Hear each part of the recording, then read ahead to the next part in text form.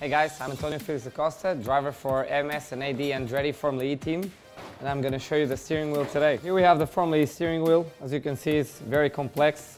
Here is our brake map. You know, the higher the number, the more energy we recover back to the battery when we press the brake pedal. Here is a little bit of a strategy rotary. I cannot tell you much about that because it's a bit of a secret, but we basically use this to have different speeds in the pit lane.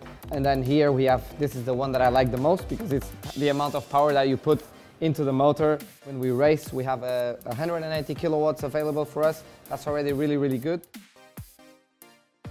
Radio button, I use it to speak to the team. The neutral button to get the car in neutral, obviously. Reverse button to go reverse gear. I hope I never need to use that.